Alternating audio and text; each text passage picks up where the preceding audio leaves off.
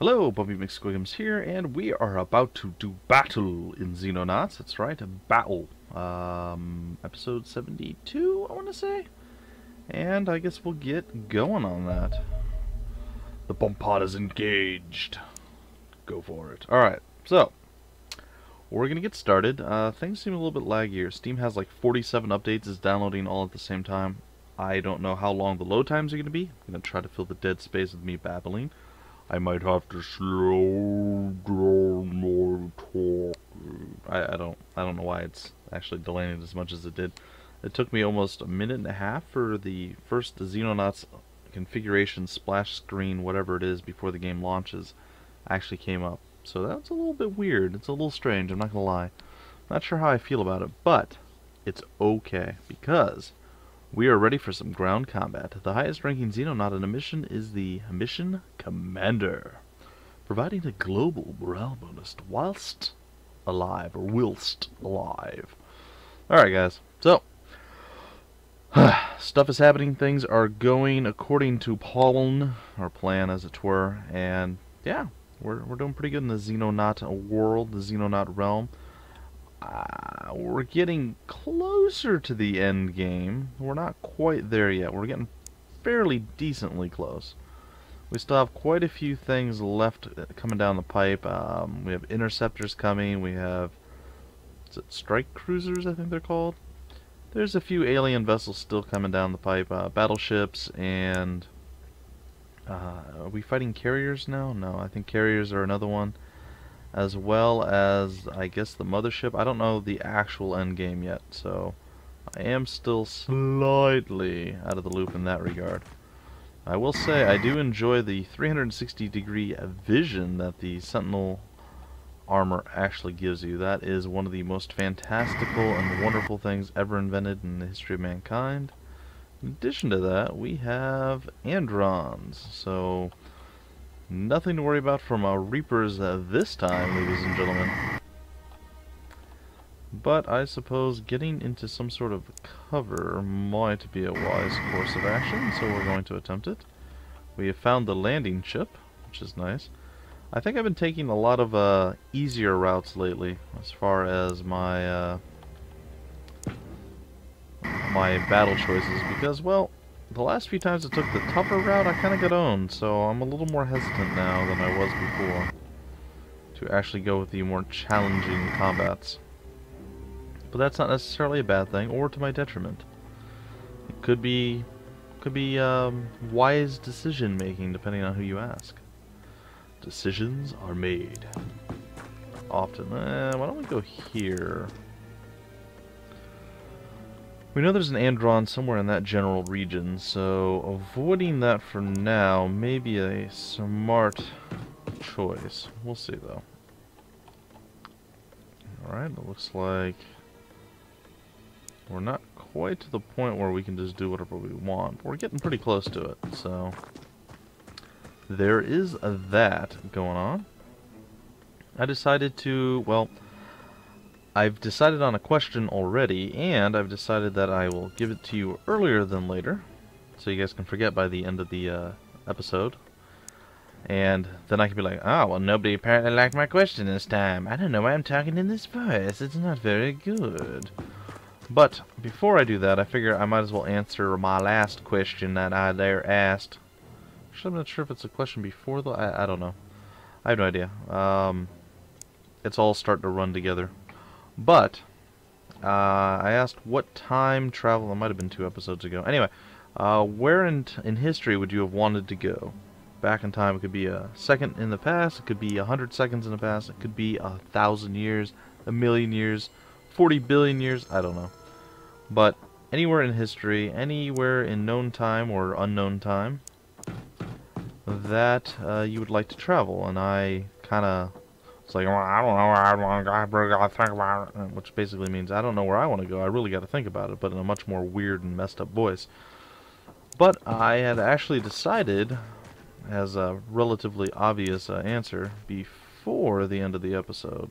But I decided to make you guys wait. So, long story short, I will reveal my answer to all of you now. And the answer is actually quite simple.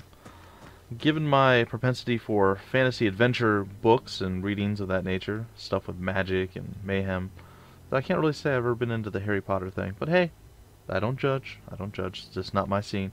Anyhow, uh, I do enjoy quite a bit of RPG type games. I like medieval weaponry and stuff like that. Anyway, the, the medieval times basically, not the actual restaurant in Florida, which I have been to and it is fantastic, oh, by the way. Excuse me, or fantastic if I didn't like choke on my own word there. Uh, medieval times, amazing. They they chop a chicken basically in half and give you half a chicken. They give you this amazing, uh, some sort of potato thing and a pretty decent soup. It was really good. The uh, the show was wasn't too bad either. So yeah, medieval times, good place to go. Definitely check it out if you're ever in Kissimmee in Florida. Fun stuff. Anyhow, moving past that, yeah, medieval times. Um, the Middle Ages basically. To see, uh, like honestly, I would love to, to like take up blacksmithing. I think that would be amazing. A lot of fun. It'd be miserably hot, and I'd be probably be really sad about that part of it.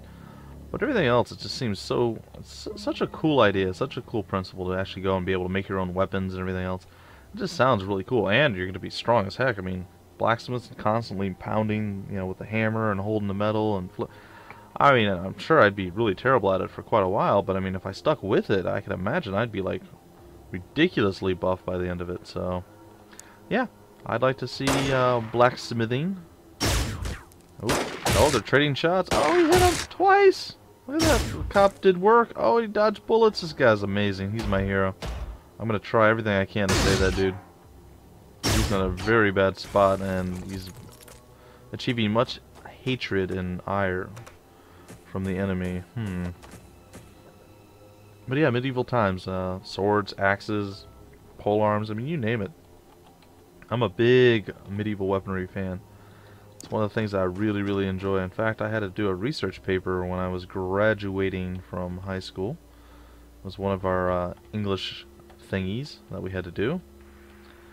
And eh, kind of torn whether I want to go up here or not. We'll do it anyway. Sure seems like there's a lot, a lot of, uh oh Maybe we'll land for now. Really? How many people am I going to see? I can actually see him from there. That's interesting. Uh, anyhow, a lot of uh, medieval weaponry and other things of that nature, excuse me, have been uh, have been a thing of mine that I've uh, enjoyed. Armor, shields. I mean, you name it. I really, really enjoyed it. And I did a research paper on that when I was in high school, and I actually, uh, the teacher was like, you know, normally that stuff is actually pretty boring to me. But however you, uh, she's like, I'm not sure how you did it, but the way you presented it, it was actually quite amazing. Of course, you know, I fancy myself as something of a writer well, once upon a time, not really anymore. Um, so that was kind of a nice uh, compliment to be paid by my English teacher of all the people. So I didn't do super amazingly well in school, I won't lie. Uh, I kind of didn't apply myself much in school, so one of those people. Had all the potential, didn't live up to any of it. It's quite sad, really. Alright, well, we need to get Redith into a position to do something, so we're going to go charge on over and do it. And hopefully it's enough to finish this guy. It is, and that makes me quite happy. Alright, this also poises her for possibly running down that guy if our sniper fails. Which is not a terrible choice either. In fact, I like that idea so much that I'm going to position Cole Hernandez in the same exact position. And there we go. And that means that Splooch gets to continue the sweeping clearage toward the landing ship itself. Alright, um, Rippity Dip is going to make his way that way. And Kierlegan, eh, I guess we'll stick you up here, and then you maybe you can get a shot across the way. Once upon a time in Mexico. You take a knee for now, though. Alright, and then what do we have? We have Mutanot, who I think I'm going to go stick over here. Assuming nothing terrible happens and he survives everything, we should be able to do some annihilation in the next turn. And it will be sweet, sweet nice. And I guess we get Yadvarnis up over here. Still alive, still kicking, not dead, doing his his job, doing doing work. It's good. Alright. And with that, we'll end this turn. So, question. The question of the day. Oh, poor guy. He tried. He survived so much, only to fall. Eventually. I wonder if he's still up there. Question of the day. Could be Coke or Pepsi. Could be Sprite or 7-Up. I decided something a little more elemental and a little more subjective, I guess. I mean, Coke or Pepsi, eh, it's different, but it's the same. I mean, it's minor differences. I prefer Pepsi to Coke. It's fine. It doesn't matter. It doesn't matter. It's not the question. The question is this. Hot or cold? I know. Seems pretty simple. Hot or cold? Do you prefer to be in higher temperature climates or do you prefer to be in lower temperature climates? What is your preference? Me personally, I always prefer cold because I believe I've even said it before here. It's my personal opinion and belief that you can always, and I do mean always, put more clothing on if you're cold. Whereas if you're hot, there's only so many clothes that you can take off. And that, right there, is the easiest way to explain it for me, I guess. If you're hot, take more clothing off. If you're cold, you have to put more clothing on. You can only take so much off. You can always put more on. I mean, eh, I don't know. Those are my thoughts. Now, I suppose in extreme conditions, eh, you can probably survive longer? I, I don't know. I imagine you can probably survive longer in extreme heat as opposed to extreme cold. Now, I'm not saying like a volcano, but say, you know, like desert temperatures get really hot, and if you're not careful, you can dehydrate all that, you know, wonderful, not fun stuff. Um, I imagine it's probably you're able to survive longer in extreme heat for any length of time as opposed to extreme cold. Extreme cold, you get hyperthermia and you die pretty quickly. So, I don't know. I'm just saying in general, I'd rather be a little cold than hot. That's just me. It's just me. Maybe, well, maybe a few other people agree. I, I don't know. I think the odds are there's at least a few people who are uh, echoing my sentiment. And I, even um, even my wife's son says that uh, he originally, I think I'm trying to remember exactly what he told me. Originally, he would always prefer to be hot than cold, but he said lately he's been kind of thinking about it, and he said that it makes a little bit more sense uh, the way I uh, present the argument. Because my wife would always rather be hot than cold, but then she complains just as much about the summer heat as she does about the winter snow. So, I don't know. I don't know. Seems a little wishy-washy to me. Seems a little wishy-washy to me. Definitely not committing on that. But yeah, me, always, I'd rather be in cold temperatures than hot. Now, of course, my tolerance for cold temperatures is a little higher than most people, so that may play into things a little bit as well. So just keep that in mind. Alright, well, I guess Yod can go around the corner, take a look around. I think maybe I'm going to go in this direction, take a knee. How close? Eh, I suppose I could go here and look this way. Can I take a knee? I cannot. And then Splooge could even get behind this, look this way, and take a knee going into burst fire mode and making all sorts of stuff happen. What? Alright, there we go. So hot or cold? Hot or cold? Hot or cold? Well, at least this way there's not going to be 400 billion answers. Not that I minded. I, I do enjoy seeing the different snack foods. I found I found it weird. The oddest one to me was uh, chicken wings as a snack food. I suppose, but I mean, like, to me, I want to have like 10, 15, 20 chicken wings. Uh, anything under that, uh, it's just not worth it. It makes me sad. It's one of those like, why would you give me such good tasting food only to give me so little? I want large quantities of chicken wings. I want to eat them until I don't feel like eating anymore. That's that's kind of how I roll. That's how I do it. So I feel very cheated if I don't get like a big chunk of chicken wings or a big batch, however you want to enunciate it, it's fine. I want large quantities of chicken wings, and if you do not give it to me, then you are shorting me, and I am offended greatly. So, just saying. Give me chicken wings, and give me many of them. In fact, I think we might even be going to get some wings again in a week or two, which is going to be delicious. I'm not going to get the uh, jerk chicken ones. I don't really like the jerk chicken here. I don't know, personally, if it's if it's done 100% right or not. I mean... There's places that I don't like. Like I don't like most of the Chinese food here, and I don't.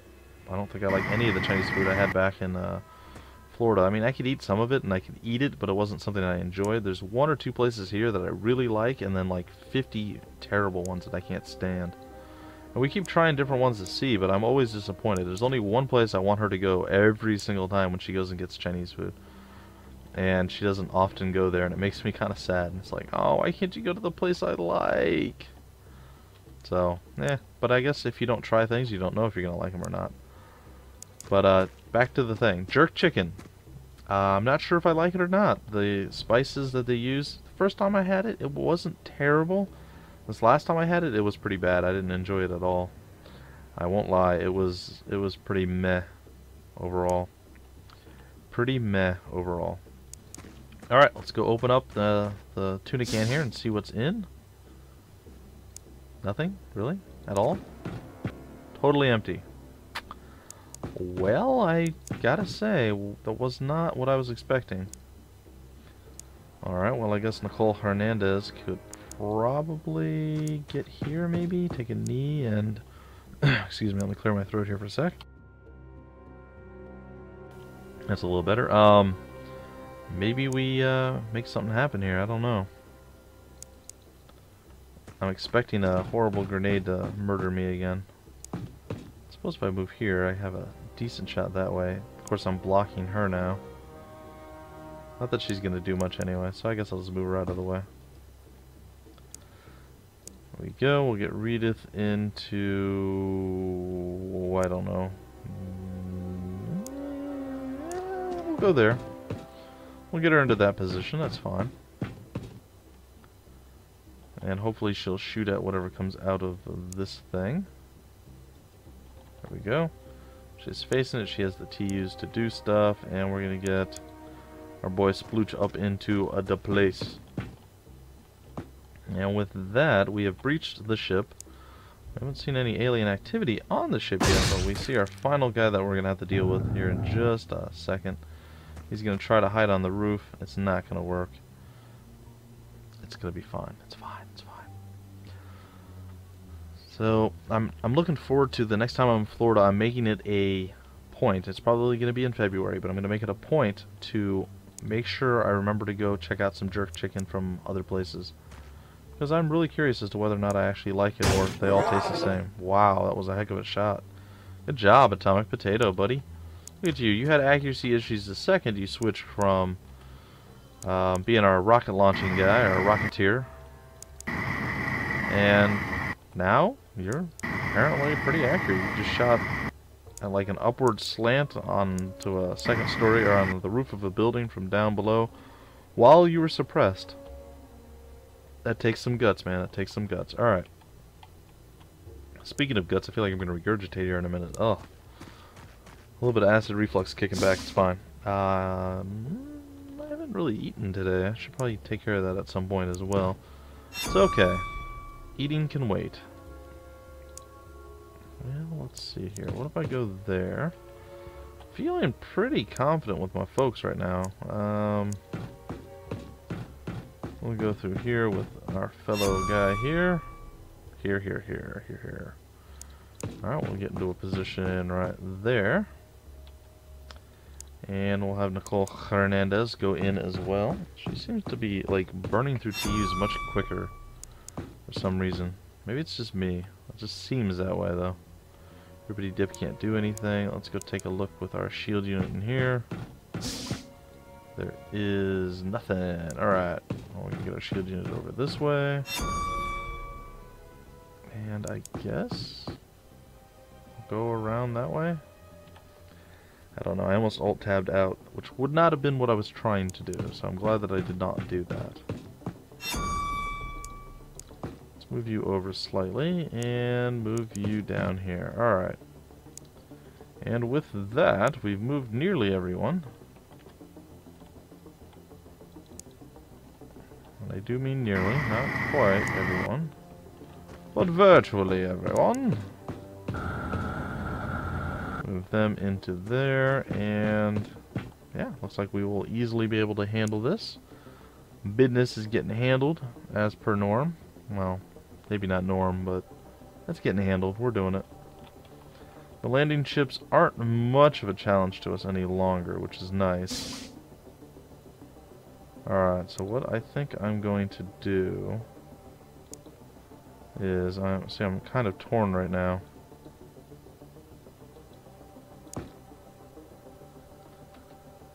Hmm. think I'm going to lob this here. That did make it. That's suppressed. That's what I was going for. And I'm going to get out of the way. Might eat a shot in the butt, but I didn't. I'm good. I think we're going to have this happen. Sweet, he missed. Perfect.